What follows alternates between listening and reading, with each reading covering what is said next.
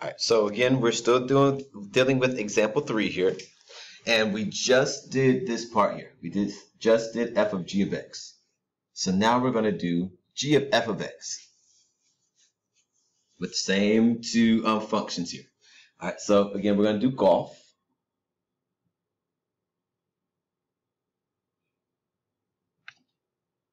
Which again is g of f of x. So golf or g of f of x. All right, so again with this, we're going to label our outside and inside. So g of x this time is our outside function. f of x is your inside function.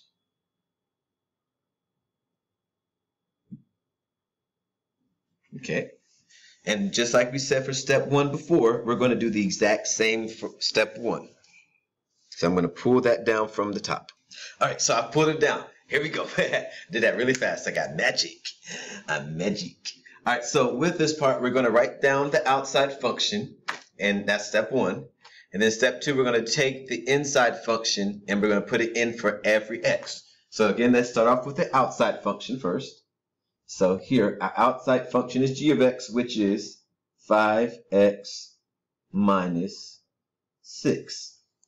So that's our g of x function. All right, now we said here that we're going to take our g of x function and we're going to take out the x pretty much and we're going to put in that f of x function inside of it. So we're going to put the inside function into the g of x function, the outside function.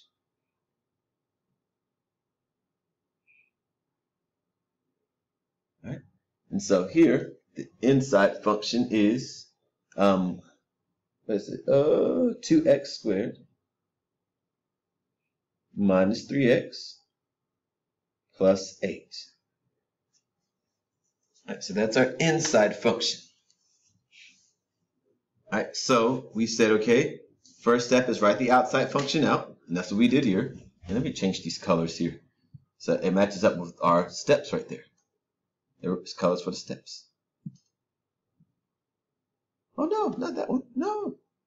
It's supposed to be red here. It's supposed to be red here. On the inside, it's supposed to be green. All right, there we go. All right, so we took the outside function, wrote it down. We took the inside function and put it in for every x. All right, so then the last step we said was to simplify it down.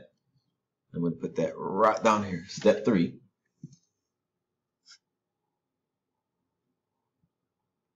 Is to simplify it down.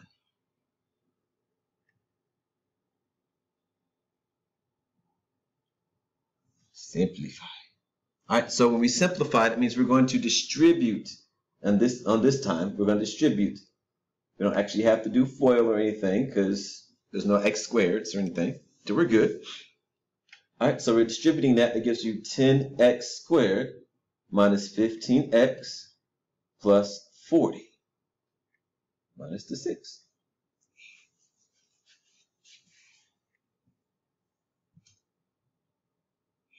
All right, so we did that part. So multiply that. 5 times 2 is 10. 5 times negative 3 is negative 15. 5 times 8 is 40. All right, and then the last part is again simplifying it by combining like terms. So our like terms here,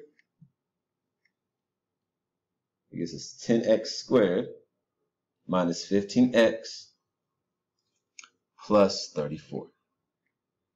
So our g of golf, or g of f of x,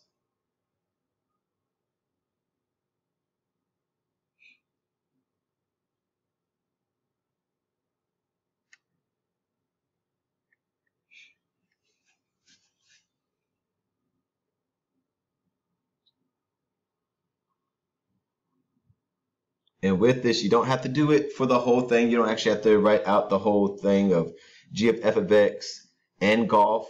You just write down one of them, depending on what they give you.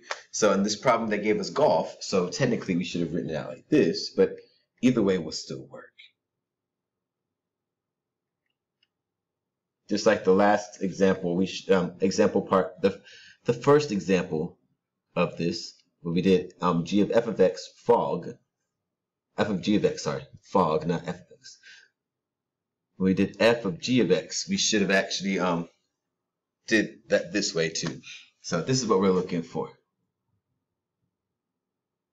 But again, g of f of x works too. All right, so that is it, guys. That's the g of f of x, f of, um, f of g of x. Now, with that again, um, what they're going to ask you to do, for example, four, which is um, evaluating, they're going to ask you to take what we just did here and put numbers in for it. So that one's going to be quick, but yeah, it's this is the hardest part there.